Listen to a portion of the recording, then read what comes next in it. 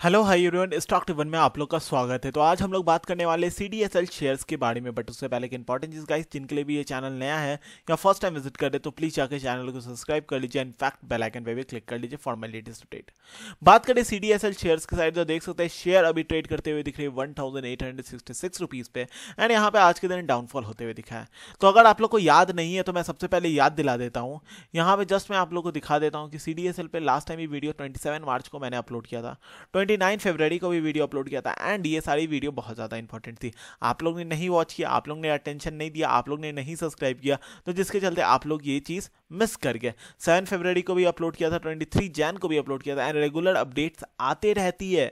अब इंपॉर्टेंट क्या था मैं आप लोगों को बता देता हूँ। आप लोग जाके ये सारी वीडियो भी उठा के देख सकते हो, कोई बड़ी बात नहीं है। मैं आप लोग को बता देता हूँ, यहाँ पे हम लोग ने क्या बात किया था सी डी एस एल पे। सी डी एस एल ये आ गई थी डाउन अप्रैल में डाउन थी ओके राइट?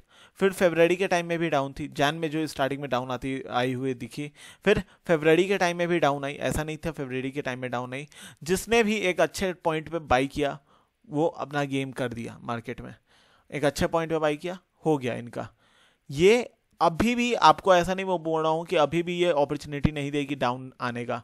ये फिर से चांसेस बनाएगी डाउन आने का, क्योंकि डिलीवरी के साइड देखो तो फिर से देख सकते हो delivery thirty seven point four one percent की डिलीवरी होते हुए दिख रही है तो कोई उतनी खास thirty seven point four one की है तो ठीक ठाक डिलीवरी उतनी भी खास नहीं बोल सकते बट एक बोलते हैं ना कि ये एक ऐसी कंपनी है जहाँ पे मार्केट नीचे जाए चाहे ऊपर जाए, इनका तो रेवेन्यू बनते हुए दिखेगा ही दिखेगा। जितने ज़्यादा कस्टमर्स आएँगे मार्केट में, उतना ज़्यादा इनका रेवेन्यू बनेगा। ठीक। कस्टमर्स कम होने लगेंगे तब रेवेन्यू में इफ़ेक्ट है बट मार्केट ऊपर जाए, चाहे नीचे जाए, इनके रेवेन्यू में कमी नहीं है। ठीक। तो यहाँ पे जो अभी डाउनफॉल मतलब अभी जो साइड वेज ट्रेंड क्रिएट कर रहा है दिसंबर से देख सकते हैं मतलब नवंबर से लगभग लगभग देखे तो यहाँ पे उसी लेवल पे क्रिएट करते हुए दिख रहा है। तो इस सिचुएशन के अकॉर्डिंग फिर से ये चांस बनाएगा आपको 1700 तक के रेंज में आने का। ठीक। तब आप प्लान कर सकते हो यहाँ पे एक फिर से बाइंग का एंड साइडवेज मार्केट तो आपको ही पता है कि क्या करना है। साइडवेज में बस कुछ पॉइंट्स कमाना है निकल जाना है। कुछ पॉइंट कमाना है फिफ्टी फिफ्टी वाला भी एक गेम कर सकते हो, वो सारी चीज़ भी। थोड़ा से फाइनेंशियल्स के साइड ध्यान दे तो सबसे पहले मैं आप लोगों को बता देता हूँ बुक वैल्यू यहाँ वन हंड्रेड सेवेंटीन की मेंटेन है फेस वैल्यू टेन की मेंटेन है।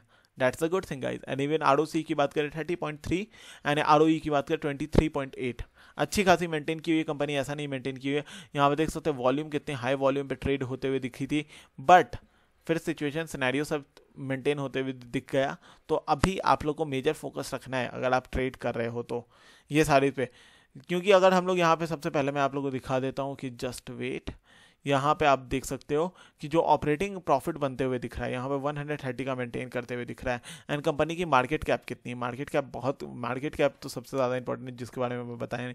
Ninety thousand five hundred three crore की मार्केट कैप है कंपनी की। यहाँ पर बहुत लोग ने मतलब एक लंबा लॉन्ग टर्म इन्वेस्टमेंट के लिए छोड़ के रखा है, क्योंकि पता है ना कि पोटेंशियल किस लेवल पर रखती है। तो यहाँ पर नेट प्रॉफिट सब चीज़ अच्छी खासी मेंटेन करते हुए दिखी एंड ईयरली वाइज में अगर हम लोग इसको देखें तो ईयरली वाइज में 407 मतलब एक एक ग्रोथ ही मेंटेन करते हुए दिखिए। ऐसा नहीं है कि ग्रोथ नहीं मेंटेन करते हुए दिखिए। एंड जिस लेवल पे मार्केट में ऑडियंस बढ़ेंगे मतलब ऑडियंस क्या? सिंपल है, जिस लेवल पे बढ़ते हुए दिखेंगे, उस लेवल पे आपको देखने को मिलेगा। यहाँ पे लास्ट टाइम में ट्वेंटी ट्वेंटी टू से यहाँ पे ट्वेंटी ट्वेंटी थ्री में तो तो यहाँ पे थोड़ा गिरावट था बट इस बार एक्सपेक्टेड भी अच्छा खासा किया जा रहा है तो कमी नहीं है। मतलब नेक्स्ट लेवल पर मेनटेन की हुई है कंपनी अब बात करें equity equity capital and in fact reserve के साइड रिज़र्व भी बहुत अच्छी मेंटेन की हुई है। एंड बॉर्डिंग्स की बात करें तो बॉर्डिंग्स तो मतलब ऑलमोस्ट है ही नहीं ऑलमोस्ट डेप्थ फ्री है। यहाँ पे टू है तो टू करोड़ मेंटेन किए। तो कोई ये, ये सारी कंपनी के लिए क्या ही बड़ी बात है टू करोड़ पे करना। तो जस्ट मैं आपको बता दे रहा हूँ यहाँ पे एक अच्छा खासा मतलब डेप्थ फ्री कंपनी है। टेंशन की बात है नहीं। इन्वेस्टमेंट्स की बात करते हैं इन्वेस्टमेंट में भी करते हुए दिख रही है। इन्वेस्टमेंट भी अच्छी खासी बढ़ते हुए दिख रही है। फिक्स असेट्स में भी कमी नहीं है मतलब यहाँ पे बढ़ते ही हुए दिखी है। तो ऑलमोस्ट ये सारी चीज़ को तो लेके एक बहुत अच्छा है, क्योंकि बॉर्डिंग से एक बहुत मेजर चीज़ होता है जहाँ पे दिक्कत बन सकती है। क्योंकि बॉर्डिंग्स अगर ज़्यादा बढ़ी रहती है तो कंपनी को इफ़ेक्ट देखने को मिलता है। तो मतलब कंपनी को उसी लेवल पे इंटरेस्ट पे करना पड़ेगा। तो वैसा कुछ बनते हुए नहीं दिखा। तो फंडामेंटल के साइड वाले तो बहुत क्रिस्टल क्लियर सिंपल फंडामेंटल रखी हुई है कंपनी ने। कोई बड़ा ताम झाम टेंशन वाली चीज़ ही नहीं है तो रिज़र्व भी नेक्स्ट लेवल पे मेंटेन है तो ऑल सारी चीज़ अच्छी मेंटेन है। ऑपरेटिंग एक्टिविटीज़ अच्छे लेवल से बढ़ते हुए दिख रही है, कोई दिक्कत की बात नहीं है। इवन अगर बात करें इन्वेस्टिंग एक्टिविटीज़ माइनस में, क्योंकि इन्वेस्टमेंट होते हुए दिख रहा है फाइनेंसिंग एक्टिविटीज़ भी माइनस में वेल एंड गुड कोई दिक्कत की बात नहीं है। एंड शेयर होल्डिंग्स पैटर्न जो सबसे ज़्यादा इंपॉर्टेंट है, देख लो। यहाँ पे कुछ नहीं इन्वेस्टमेंट हो रहा था। फॉरेन इन्वेस्टमेंट एक ही बार एंट्री लेती और एक अच्छे लेवल पर लेती एंड फॉरेन इन्वेस्टमेंट हट नहीं रही है मार्केट में, ये ज़्यादा इंपॉर्टेंट है। तो आप लोग फोकस बना के रख सकते हो। एंड यहाँ पे इंस्टीट्यूशनल इन्वेस्टर में भी देख सकते हैं, यहाँ पे बीच में थी गिरावट होते हुए दिखी थी डोमेस्टिक इन्वेस्टर में। तो यहाँ पे गिरावट होते हुए दिखी, फिर उसके बाद यहाँ फिर से अपने आप को, अपना स्टेक बनाते हुए दिख रही है। पब्लिक भी एक अच्छा खासा मतलब पब्लिक भी जमी हुई है, मैं नहीं छोड़ूँगा। या मैं नहीं छोड़ूँगी तो यहाँ पे इसको, इस शेयर्स को आप रख सकते हो होल्डिंग्स में, एक अच्छा खासा, कोई दिक्कत की बात नहीं है। एंड जो मार्केट के ट्रेंड के अकॉर्डिंग मैं बता देता हूँ तो ये फिर से आपको कुछ इस लेवल तक आते हुए दिखेगी, क्योंकि इसका रेसिस्टेंस सबसे पहले 2000 पे स्ट्रॉन्ग रेसिस्टेंस है। पहले भी मैंने ड्रॉ किया है, थोड़ा और लंबा कर देता हूँ। तो आप लोग क्रिस्टल क्लियर हो जाएगा। टू हंड्रेड टू थाउज़ेंड इसकी मतलब स्ट्रॉन्ग रेसिस्टेंस है तो आपको इसी एरिया में ब्रेक डाउन मतलब डाउन डाउन स्विंग ट्रेडिंग कर सकते हो आप अभी के लिए।